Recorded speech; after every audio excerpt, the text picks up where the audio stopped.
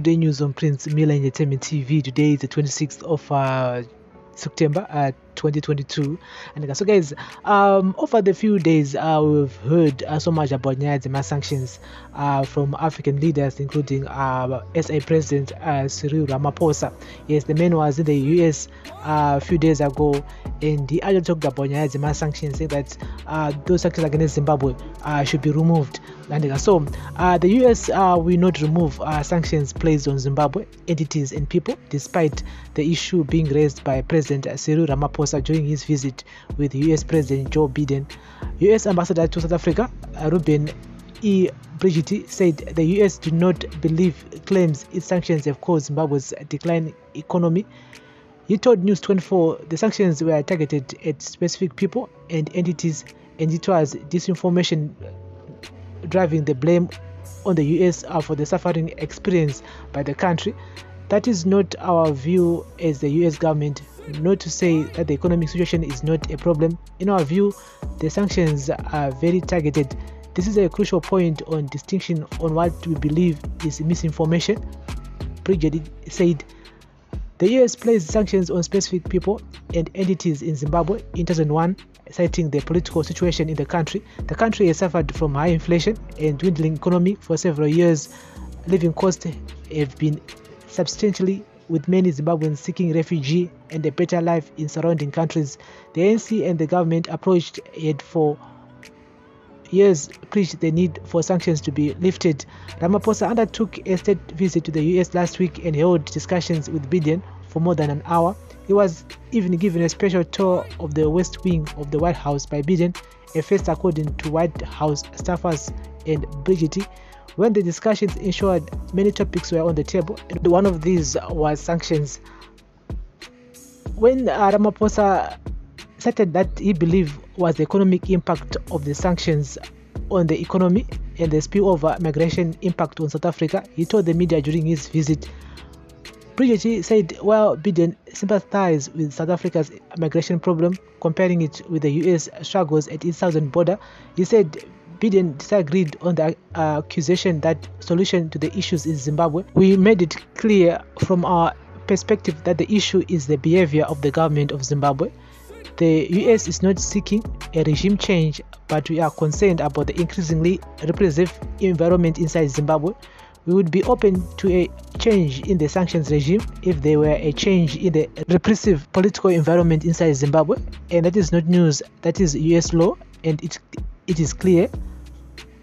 Bridget told News 24 during an interview in Pretoria on Friday.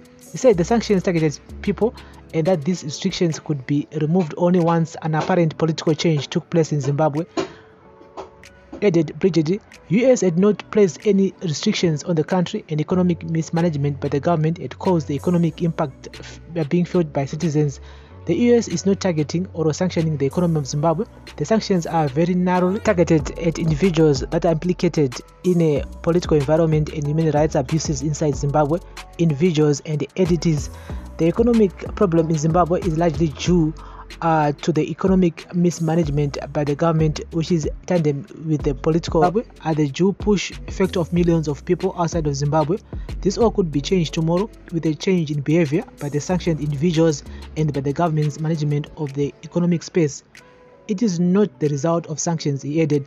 South Africa has been grappling with a rise in xenophobia in recent months, with foreign nationals, including Zimbabweans, falling victims to violent attacks. There has been a growing push from some political parties for the government to do more to secure the country's borders. And so, guys, that's the latest here. It was a nice try uh, from uh, Cyril Ramaphosa and other African leaders who were calling for sanctions uh, to be removed against Zimbabwe, but it seems like uh, US is still saying that uh, those sanctions are not affecting the majority of Zimbabweans. Those are targeted sanctions at few people and few entities at pa, at pa sanction list, not Zimbabweans. And saka the economy eh, isiri kufamba is not because of the sanctions, no, it's because of the people who are misusing the funds, which is true.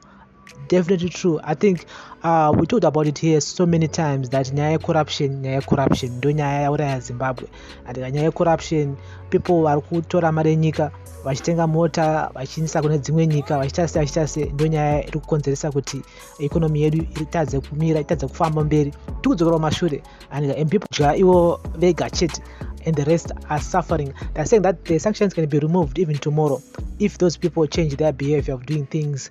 Kana vakakwanisa kuremekedza kodzero dzevanhu andika yes human rights here yatoka tichitaura nezvayo pano zvakare yes tinobvisa masanction this is um, what the us ambassador to south africa uh, ruben uh, Bridget uh, said regarding to uh, Ramaphosa's visit, the man was calling for sanctions to be removed because he was saying that um, you know more Zimbabweans are coming to South Africa. Yes, they are giving a headache in South Africa because of Nyadzima sanctions.